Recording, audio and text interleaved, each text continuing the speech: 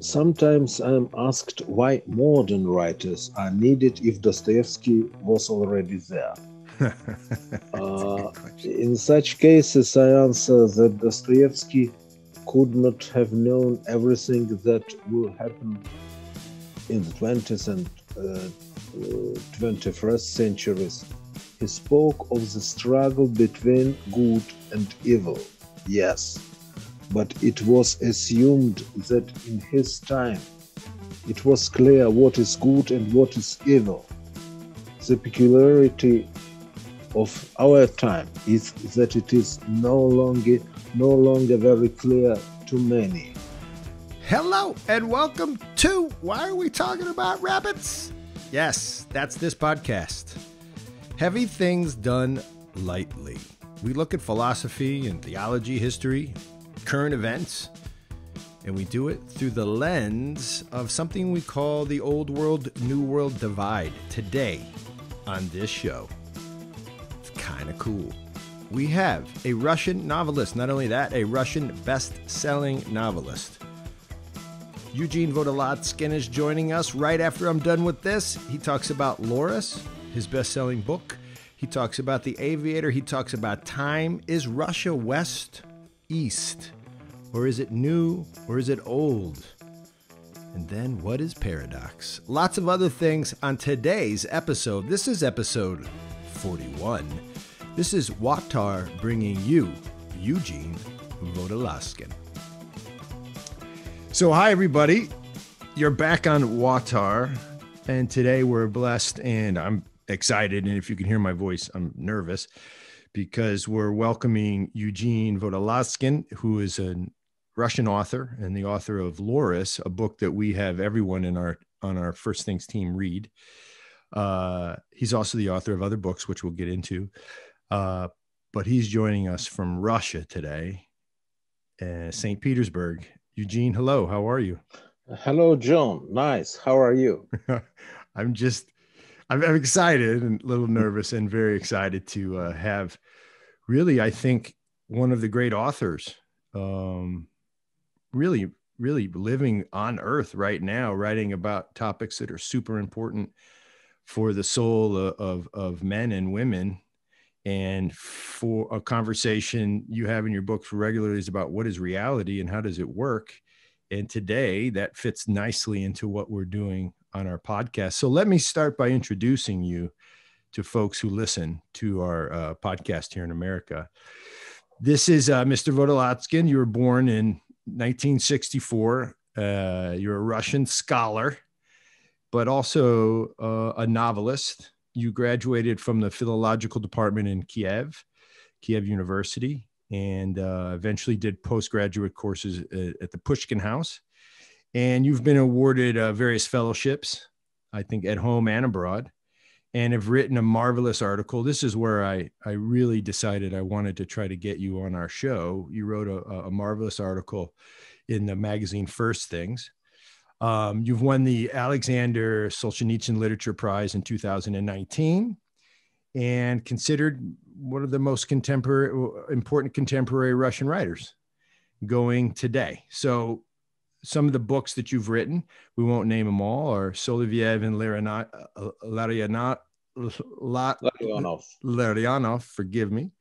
Um, Laurus, uh, The Aviator, House in the Island, and a, no, a number of other books. And as I mentioned earlier, Laurus became a family favorite. And when I left my job to run First Things, which is our nonprofit, Eugene, uh, Laurus became one of the books on our reading list for the men and women who go into the field and spend two years working in uh, unique neighborhoods, impoverished neighborhoods, helping local people.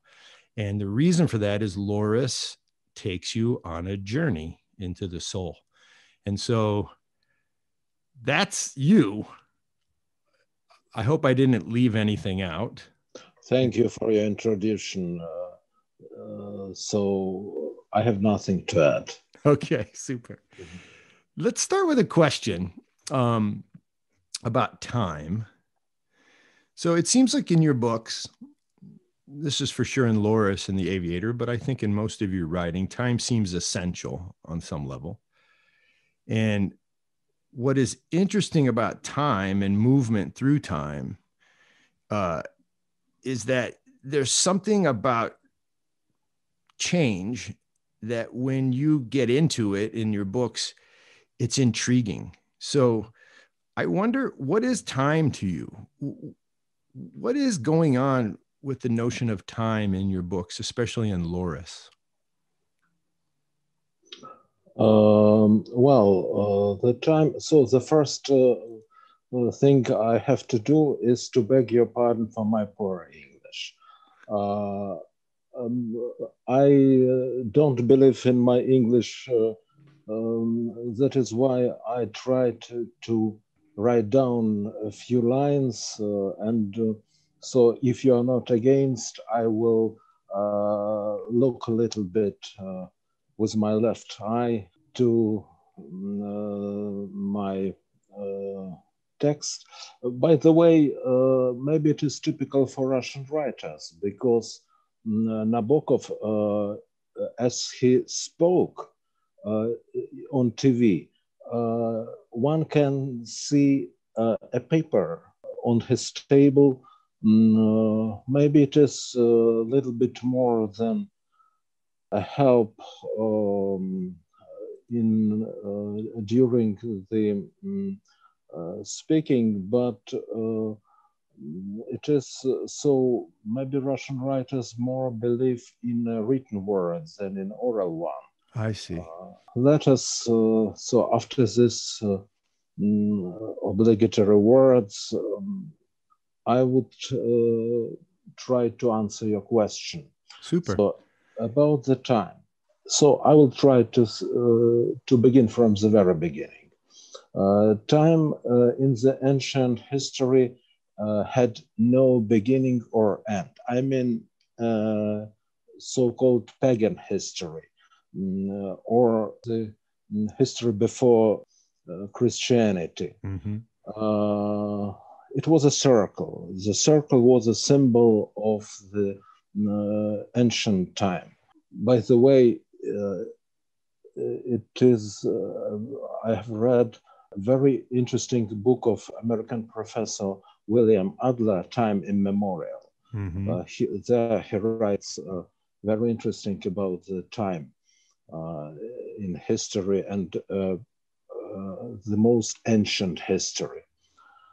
Uh, in Judeo Christian history, time has a beginning, the creation of the world, and has uh, its uh, mm, final point that is uh, that sometimes is called um, the end of the world.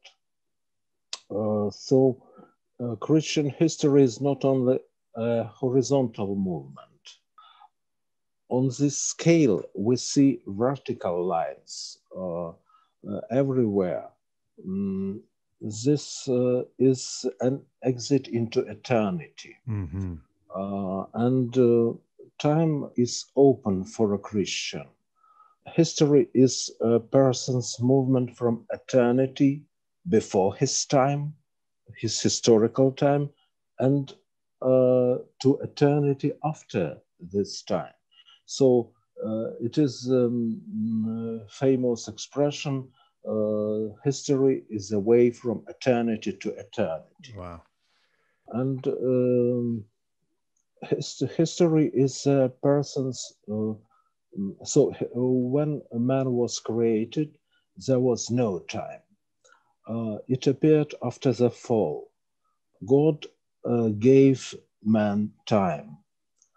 Time is finiteness. Uh, I try to to uh, speak this word uh, finiteness. Yeah, finite, finite, mm-hmm. finiteness, uh, and the finiteness is death. Uh, so, therefore, speaking um, about the meaning of life, we cannot do without the meaning of death, mm. and hence without time.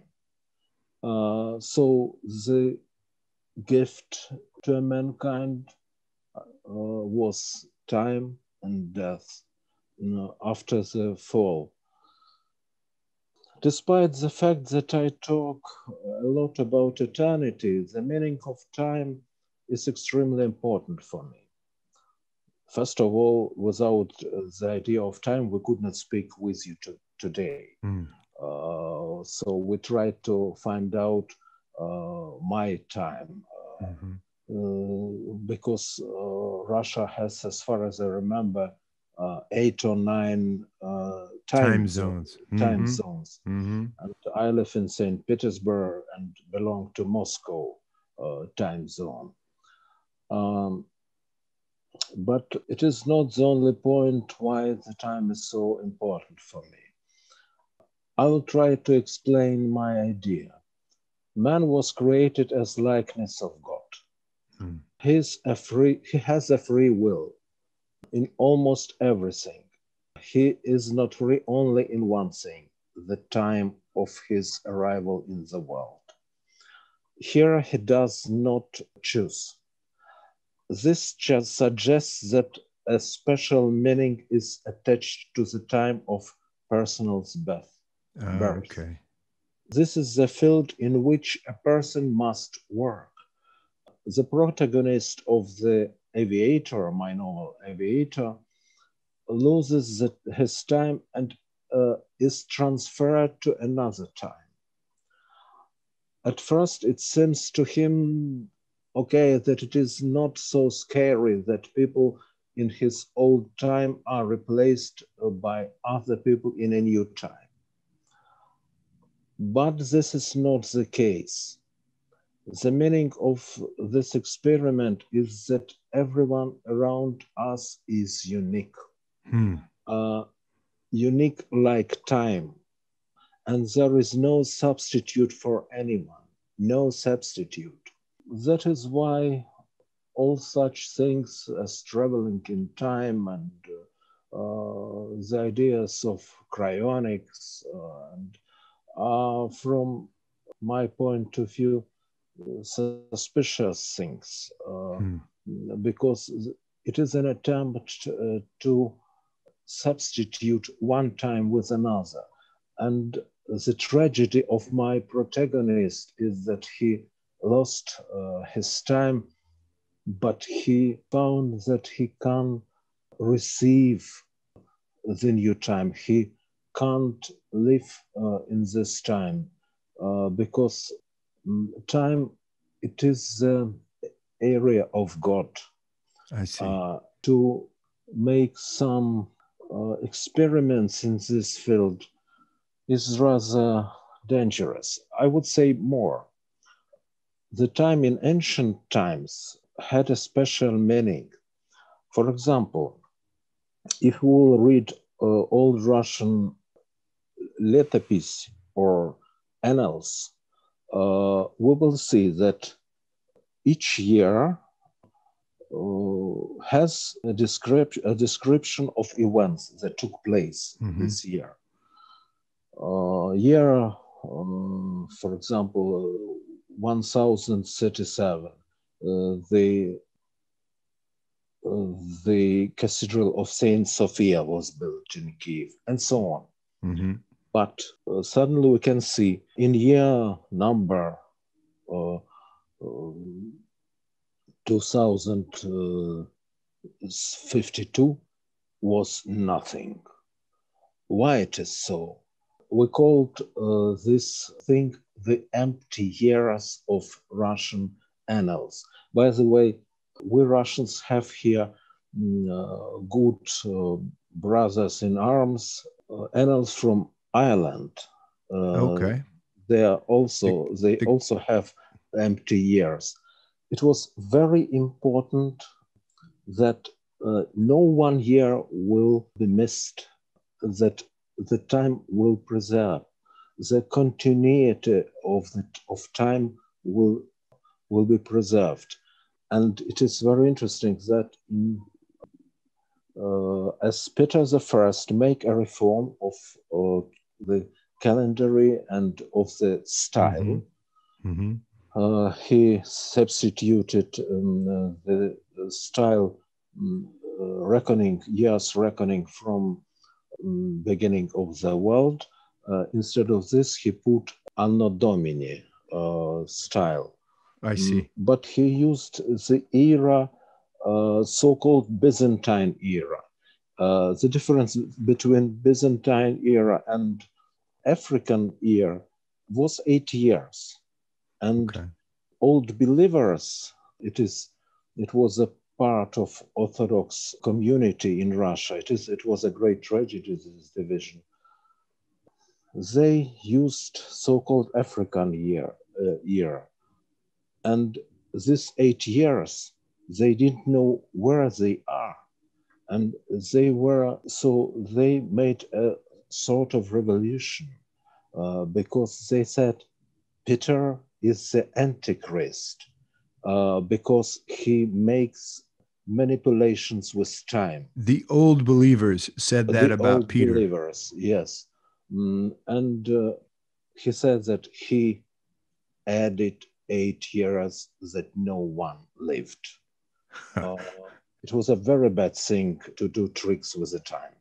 So, when the annals, the Russian annals, when when the Russian historians, the medieval historians, say there was a year when there were no there were no historical you called them empty years what's the significance of those empty years the goal of these empty years is to produce the uh, line without interruptions. Oh. Um, uh, that, by the way, the years were used mostly in Russia. In uh, Byzantine uh, uh, tradition, uh, there were emperors. each, if, for example, a chapter in Russian annals is a year. So Byzantine chapter is uh, an emperor. And um, oh, okay. Um, uh, for example, and there you will find all the emperors, uh, even those that um, ruled only one day or two days. Historically, they uh, played no role, but uh, mystically, it was very, uh, very important that the row of the mm-hmm. emperors will be without any missing, uh, will stay without any corruptions. Mm. Each name, it is not just a name, not just a person, uh, it is a mark for the time. Right. It's, it's, it's how we know we're in reality or, or or it's how we mark that we're we're here it right? As opposed to the eternal clock which which we're not how should we say we're destined for eternity. But when we keep time we're reminded of our mortality. Am i saying that right?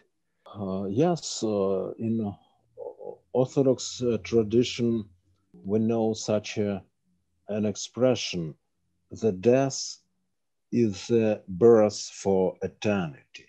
I think that's, yeah. I, but Eugene, this is very foreign to a certain type of thinking. So that leads me to a, a second question. In on this show, on this podcast, uh, we talk about the old world and the new world. Uh, and for us Americans, most of us who go and work overseas, we see there's some sort of culture that we call old world. And what we find is it's it's a it's it's a culture, it's a group of cultures in Africa, for example, or in Southeast Asia or in Central America. We see that cultures tend to know themselves as old because they're not imbued with enlightenment values. And so we've come to understand on this podcast that there's such a thing as new world thinking and old world thinking. I wonder, and new world here being post enlightenment, mathematical, scientific, rational. Do you think this is a is this real? Am, am I am I describing something that seems real to you? Is there such a type of division in the way people think around the world, or is this just odd? Uh, well, uh, the expressions "old world" and "new world" uh, in Russian history um, were used mainly in the context of the 1917 revolution. Ah, okay. In particular, one song of that time sung to the music of the Marseillaise began with the words, let us renounce the old world. Wow.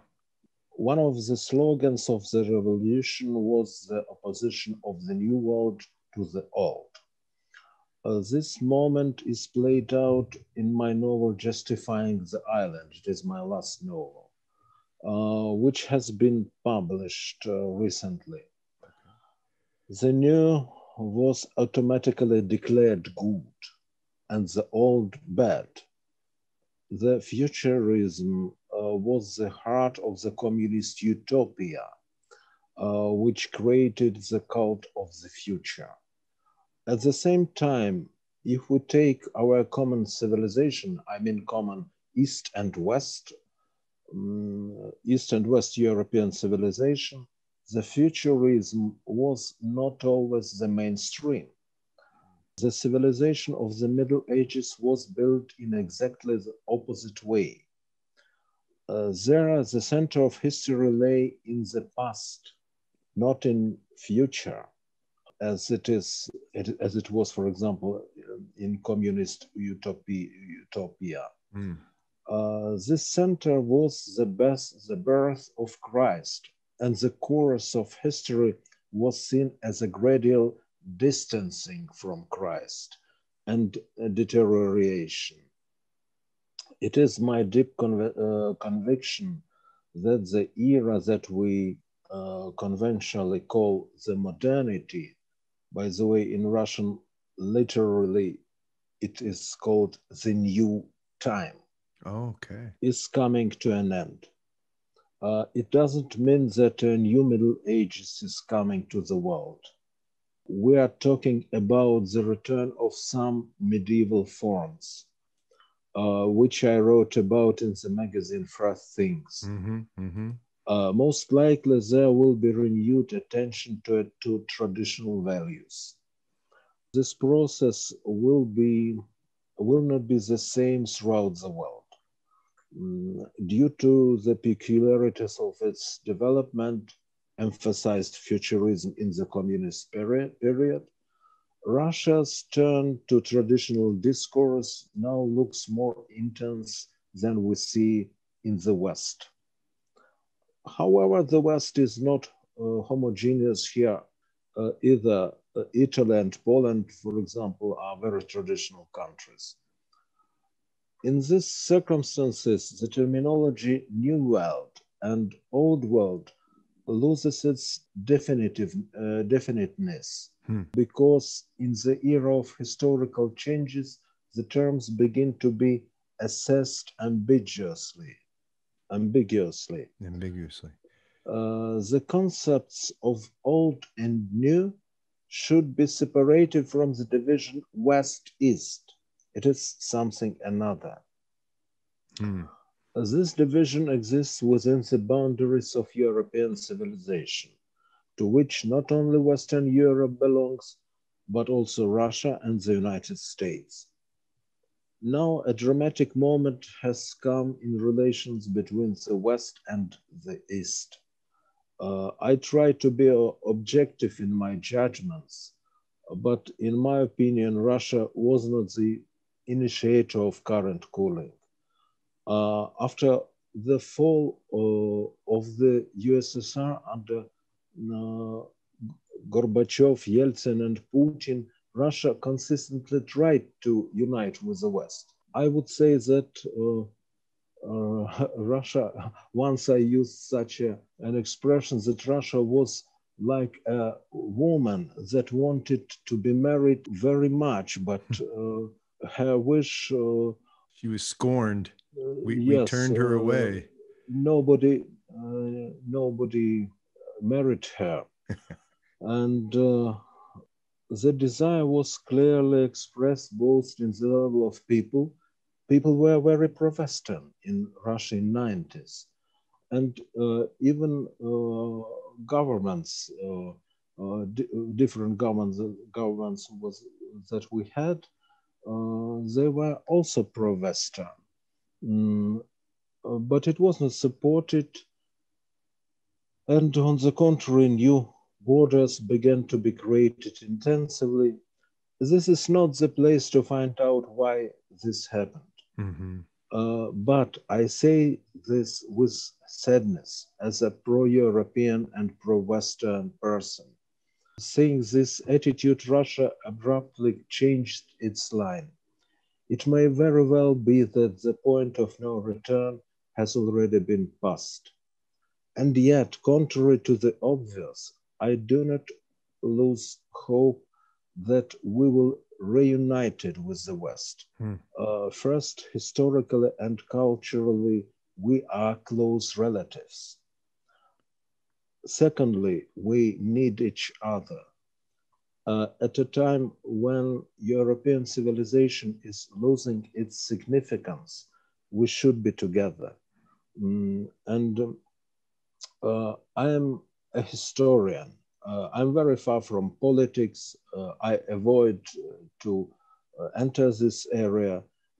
If I speak about politics, I speak about it just as about a part of history. Mm-hmm. it is a modern, it is a, I would say, present continuous of history. Mm-hmm. and I see that uh, uh, even in the Middle Ages, we were much more close to each other than now. Mm. Uh, and uh, we must remember that uh, we're Christians, and uh, Christianity it is one of the of the most important features of European culture. I uh, say again that uh, America and Russia, they belong also to European uh, culture. They are part of this culture. Right. Uh, not even belong, they, they are part. Uh, and mm-hmm. how do you see Orthodox Christianity in that most expansive story you just told? Is it old or does it bridge the two worlds? can it can it can it survive in what you're calling modernity or the new world? What what is your russian orthodox christianity in that sense? I would say that uh, i avoid uh, an expression russian uh, orthodoxy um, because well orthodoxy it is a a part of uh, Christianity. Mm-hmm. Orthodoxy is Christianity. Orthodoxy is not a, an ethnographical museum. Mm-hmm. And I know that some Russians they think of Orthodoxy as a Russian faith, uh, mm, Russian Christianity, but it seems to me it is not uh, a, cor- a correct position. Mm-hmm. If, for example, I have to do with non Russian uh, Christians, with non Russian uh, Orthodox, um, I'm, I feel myself very good. Uh, I, see. I, I like them because the people that initially didn't exist in this area, they see much more than those who were born uh, in this tradition. Mm-hmm. And that is why I think that we have um, the idea of Christianity uh, or Orthodox Christianity, uh, but uh, I would say that uh, to speak of Russian Christianity, it is something like uh, to speak about uh, Russian mathematics, uh, okay. yeah. Russian physics, and so on. I see. Interesting. Let's move to another question about um, remembering or memory. Uh, one of my favorite notions from the ancient Orthodox East, and it's something you you play around in in Laurus and a lot of your writings, uh, is that remembering from the Greek is to remember, to put things back together, sort of in reality. And, you know, in, in that way, it's the idea of the incarnation is God is being remembered in the communion. And in the New Testament, you see two types of remembering, and only one type is about thinking back or reflecting. And I think you play around with this idea in Laurus and in Aviator, and it's a joy. And I think for many in the West, it's an odd understanding. So, what what is to remember for you? What what is memory? How would you describe that? In essence, a person has has nothing but a history, a general history and a personal history, and history is memory. Hmm. When a person loses memory, he loses experience, and with experience, he loses his personality. Uh, the same is happening with the people, and the consequences are catastrophic. As you know, as I already said, that uh, mm, the circle was a model of ancient history. Mm-hmm. Uh, I already mentioned. Uh, history had no beginning and no end. From this point of view, the same reasons lead uh, to the same consequences. But the model of Christian history is a spiral. Uh, and uh, events repeat themselves, yes, but on, and on a new level. Mm-hmm. This is the basis of the so called typolo- typological exegesis. Christ appears uh, as the new Adam uh, and the Virgin Mary as a new Eve. Hmm. Christian exegesis, exegesis uh, yeah, exegesis. Mm-hmm. Exegesis produces hundreds of such pairs. I see. This is what I'm talking about in Laurus. I developed the well known idea that the Orthodox divine service does not simply remember the events of the sacral history, it lives them again. Mm. It leaves them with a memory about the previous, uh, hmm. previous mm. uh, or the first time of this event. All things made new. Uh, yes, uh, yes, uh, and in a new situation. Uh, so he lives these events in a new situation, mm-hmm. if you want, if you like. And here is uh, here it is important to understand uh, to what extent we are able to be Christians in our modern life. It seems to a very small extent. Right. Uh, but there is another type of memory that I write about in the novel The Aviator. It is admiration of God's world, hmm. which is perfection, and every detail is of great value. My protagonist, Innokenty Platonov, is trying to resurrect all the details of the pre-revolutionary world in Russia, hmm. uh, which no longer exists. He keeps a diary in which he says very little about the big history. His memories are dedicated to various uh, little things smells, colors, sounds. Uh, this is also history. Uh, in its own way, it is no less important than a big history. That's right. But it is not included in any handbook of history. Mm-hmm. It hurts Platonov that this very important part of the world disappears without uh, a trace. Finally, there is what is conventionally called history lessons. In my books, uh, I try to show that the lessons of history cannot be political. because political circumstances never repeat themselves hmm. in full, uh, which means that they will not will never lead to the same consequences. Does this mean that uh, history has no lessons? No, it doesn't. Uh, these are simply lessons of a moral nature. That's right. Uh, in the Middle Ages, uh, this is exactly how the pedagogical role of history was understood. They justly realize that the history of mankind as such has no purpose. Uh, it consists of millions of wills.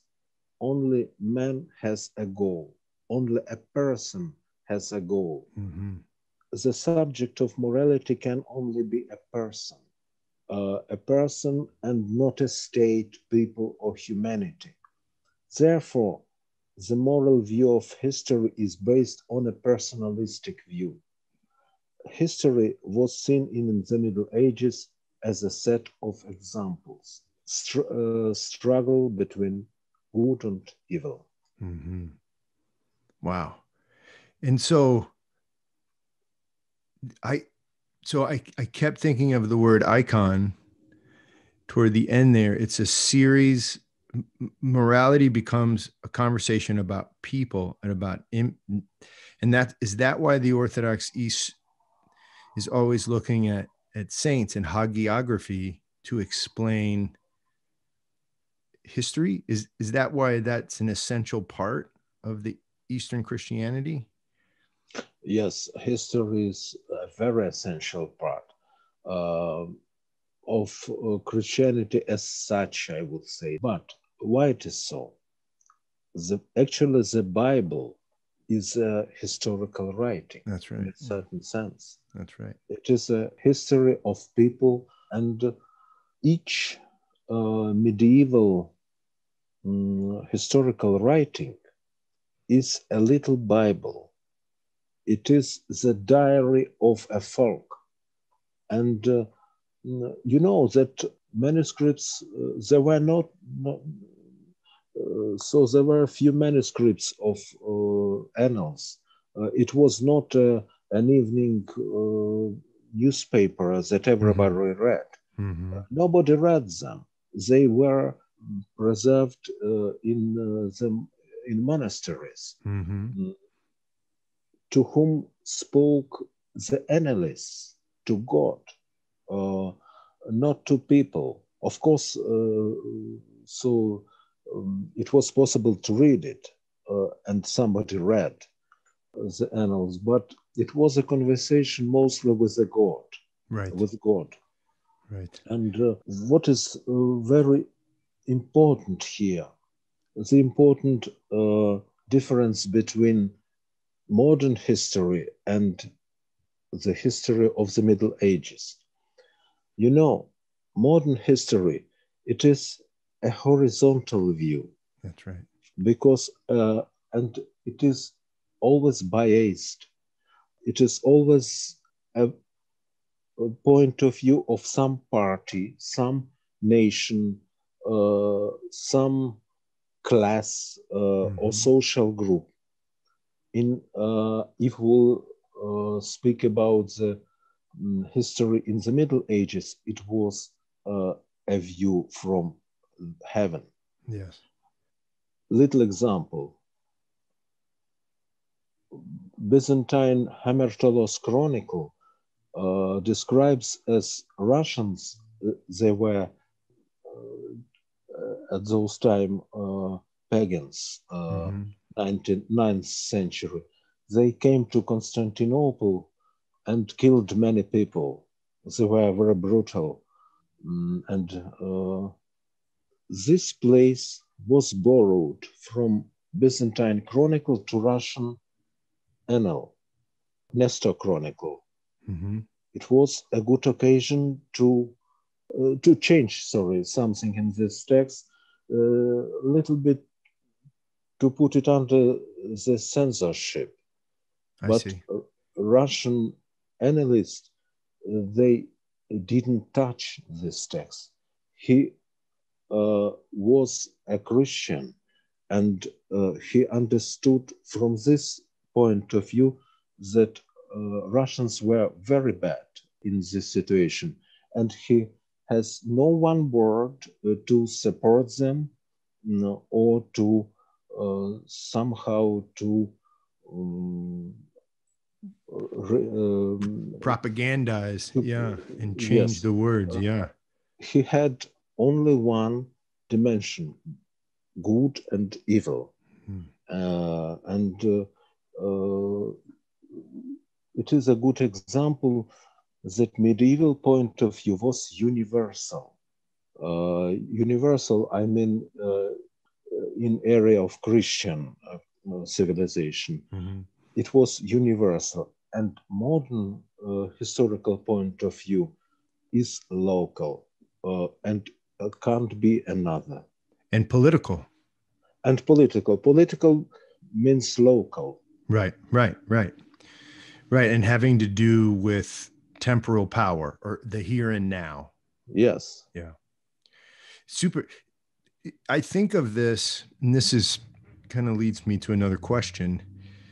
I th- I think of there's a dichotomy between sort of, at least in America, the spiritual world and the world I live in, you know, the world that God is, I'm going to, and the world that I'm in. There's this dichotomy, which sometimes seems false to me. And in, in your writing, especially in Laurus, there's something about Laurus that's disorienting. There's something about his existence that's paradoxical. Like it's it's it's always both and at the same time. It's not one or the other. He's both a sinner and also a holy fool. It's just it's disorienting i think for a lot of people. But i think this is my question. Mm-hmm. is the spiritual life disorienting or is it reorienting maybe is it meant if we're on a spiritual path is it meant to be disorienting? Like whoa what happened to me? Is that something like that happening? I would say that all the truths are, uh, they have many levels. And uh, the most uh, difficult of them, the truth uh, not, uh, must not be obligatory simple. Hmm. some things are very difficult. And difficult things things could be expressed expressed only through paradox. Truth is, is multidimensional. For example, I say, I like my people best of all. Uh, uh, it is my, uh, my greatest love, my mm-hmm. people. Mm-hmm. But at the same time, I say, it doesn't mean that I like other nations less than mine. Right. It is a difficult, uh, complicated feeling, but we must not try to simplificate uh, the things, the difficult things. Uh, and as to your question, of course, this way, the way uh, of uh, the way to God uh, has uh, many has many difficult places. Mm-hmm. and as to saints, we must remember that a saint is not a person who has no sins. It is a person that can work with his sins and uh, to a person who can uh, whose metanoia uh, yeah. enough strong to to destroy a sin metanoia being the power of transformation or change is that right yes it is the change uh, of uh, in German, Hirn. Uh, uh-huh. So uh, the mind. Uh, to change the mind. Okay. Yes. Mm-hmm. Interesting. Could, it, could... it is a, a, literal translation of this Greek word, changing a mind. Mm-hmm. Mm-hmm. Uh, and uh, mm, those who change their mind, they uh, change their behavior. Yes. Could we jump down a little and talk about um, writing in Dostoevsky? Yes, of course. Because, you know, I'm not alone. Um, many people in the in the West who are seeing their sort of Protestant world come out from under them, or in other words, there's a change in the way that Christianity is being understood in America now. When that happens, people begin to reassess their Christianity. And I know many people who start to read classics or they're they're interested in artistry and they stumble on Dostoevsky. And there's something about Dostoevsky that is appealing to many sort of converts to orthodoxy and really just people right now. There's something harsh about him that's appealing, something rough. But, you know, Dostoevsky's books, as you know, they they tend to emphasize the dirty in order to explain what's clean. Something like that. So who is Dostoevsky to you? Because I know a lot of people that love your books that say, oh my gosh, he's doing something that Dostoevsky was doing. That's a lot of praise for you, but who, who is Dostoevsky to you? So I will start uh, with the author's goal. Uh, yeah, yeah. I'm not sure that an author that an author should have a goal, well-defined purpose. they also must have a direction if uh, so a well-defined uh, purpose moves the text from the field of literature to the field of preaching. Preaching is an important genre, uh, but if uh, we are talking about literature, we need to use its tools. Mm -hmm. If literature calls somewhere, uh, it uh, does so not by means of an imperative, but by describing reality. That is what you spoke about in Dostoevsky's case.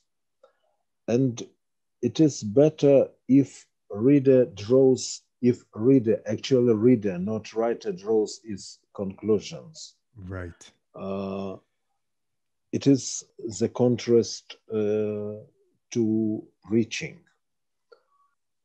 Actually, this is what happens in good literature. I love Dostoevsky very much. He foresaw many of the misfortunes of the 20th century. For example, the novel Demons is about this. But it goes much deeper than the social dimension. Uh, it is about the struggle between God and devil. Mm. And as you remember, according to Dostoevsky, the field of this struggle is the human soul. Sometimes I'm asked why modern writers are needed if Dostoevsky was already there. uh, in such cases, I answer that Dostoevsky could not have known everything that will happen in the 20th and uh, uh, 21st centuries. He spoke of the struggle between good and evil, yes, but it was assumed that in his time it was clear what is good and what is evil. The peculiarity of our time is that it is no longer no longer very clear to many mm-hmm. what is good and what is bad. And in this situation, it is a great challenge for every Christian. Yeah. He, the context same conversation, good and evil, but the context, you're right, is fundamentally different. Uh, yes, and uh, actually, Dostoevsky, yes, somebody can say that uh, uh you're right that he uh, reflected dirty side of the life and its uh, better sides, mm-hmm. and some sometimes his dirty sides are too dirty. yes, but still he understood the difference yeah. between these two areas. And now it is actually terrible that uh, some that comes new ethic and uh, says France, it is not bad, it is good. Right, right. From now on, it is good. Some believe that it is good, some that uh, it is bad, and this relativeness is very danger. Yeah, in some ways, dangerous. it's we're living in the chapter after Dostoevsky's finished the demons. It's the next chapter where the deep relativism is now our context. And as a teacher, Eugene, I saw as I got as I taught into 2010, 11, 12, you know, up until right just a couple of years ago as a teacher, I saw the conversation much harder to start the conversation about good and evil. It wasn't that you couldn't have it. You know, I taught 18 year olds. I could have a conversation about good and evil, but it was a much harder conversation to begin because there were so many different relative contexts. Each person felt that they had to define for themselves what good and evil was, as if each of us had a different good and evil. And so before you can even talk about good and evil, you had to have everyone weigh in on what their good and evil is. And there was almost no common vocabulary for what it was. That's that's how my classroom looked. That's how the kids spoke. And so by the time you got into the depth of the conversation, and by the time you got into, you know, the deep philosophy or theology, everyone was already tired. so uh, yes, I would say that what is uh, really dangerous that uh, the, so if we'll speak uh, about moral ethics, uh, in the time of Middle Ages, the ethics, uh, so moral was based uh, on not only based, moral was uh, Christianity. Yeah, right, right. Uh, later, moral was also so people that didn't that didn't believe in God, uh, they uh, still they had the same moral with those who believed because the influence of um, religious ethics was very strong. Yeah. Uh, but now we see the birth of new ethics that has nothing to do with religious uh, ethics. Mm-hmm. Uh, and uh, it is something new. And if you say to somebody, uh, it is so don't do it, the question why? Because it is bad. Who told you that it is bad? This is it. This is it. Mm. And it, one of the things we talk about is when that happens, it's okay, but culture becomes difficult. It becomes difficult to create culture in such an environment. There can be no unifying moral code. And I wonder how that ends. Who knows? Doesn't have to. Are you hopeful? Are you hopeful for this postmodern age? Does is there hope in you? Like what what inside of you gives you hope these days? As a Russian in St. Petersburg? You know, there are different types of hope. Right. Uh, so we have a joke that such a question was put to optimist and to pessimist. And uh, optimist, uh, pessimist, the pessimist says it would it will be uh, much more worse. Mm-hmm. It would be worse. And optimist says it couldn't be worse. and so it couldn't be worse, right? yes. That's what I'm saying. That's what I, I think I'm that person. I, I think I think negatively, but hope for beauty each day. I hope something like that. Yes, so, uh, but it was a joke. It is. It is not. Sure. I am. Uh, I believe that.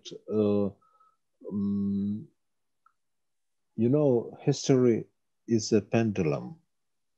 Uh, it is a main uh, principle for history. Mm. now, it is not the best position of uh, this pendulum, but history has its rhythms uh, and mm.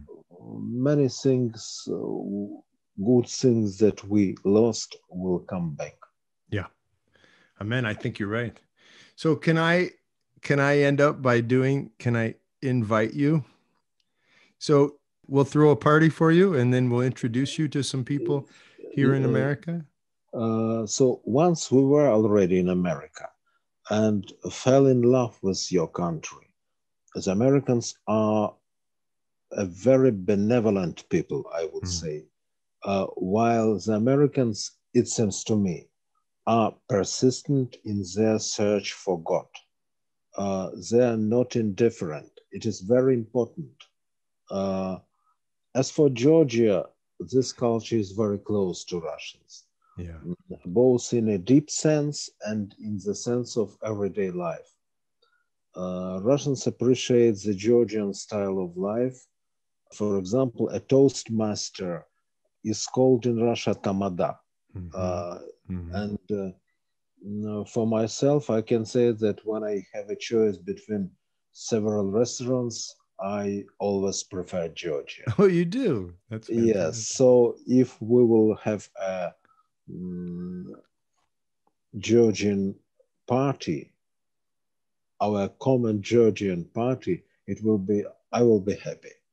This is great because as a part of our work, uh, we don't have offices, but we've we've been given a nice donation to start a, a little meeting place, a restaurant, where our theme will be the Supra and Khinkali and Khachapuri and and Swadi and all that. And we're going to open it this summer. And so really we'd love you to come and we'll we'll we'll do American things around a Georgian table in America. I think it would be quite fun. So I hope you we'll talk, okay, about that. That'd be great. Thank you very much. Yeah. So I just want to thank you again. You you were brilliant and wonderful with your English. I know you were worried about that. I think it will be fantastic. People will really like what you had to say and you said it really really beautifully. So thank you for uh, coming on and speaking and doing the in, the interview in English, Eugene. I appreciate that. Thank you. Thank you very much. For me, it was uh, a great pleasure uh, because people that are so far from each other uh, can uh, feel love to each other. That's right. Uh, and uh, can speak as Dost- do you remember Dostoevsky wrote? what uh, are Russian boys speaking about if they gather about God? So we are like two Russian boys spoke about God. you know what? Deep down, I think that is the joy that's just bubbling up now in America because people are feeling things fade away.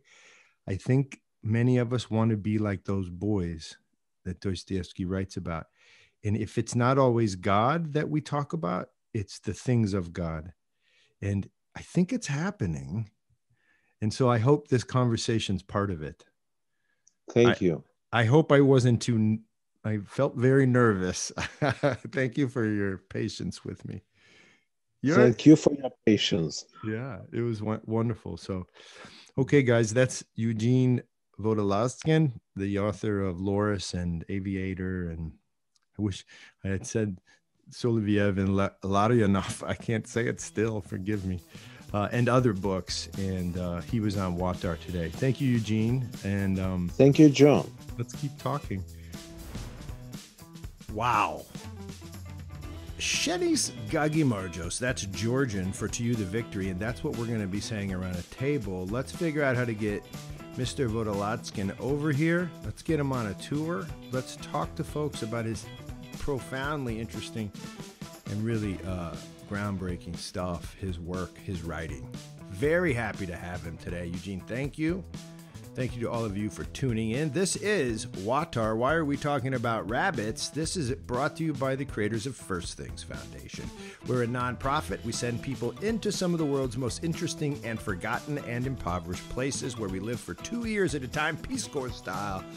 But we do projects a lot differently. Come join us. We're looking for someone right now to head to West Africa. And join us if you'd like to be a part of First Things through support or perhaps you're good at something like being a lawyer who wants to give us legal aid. We always need that in our wild world. There's a lot of ways to help. Tune in, check us out at first-things.org, and most of all, keep listening. Nakvamdist, hasta luego, cambufo, peace out, dos vidania.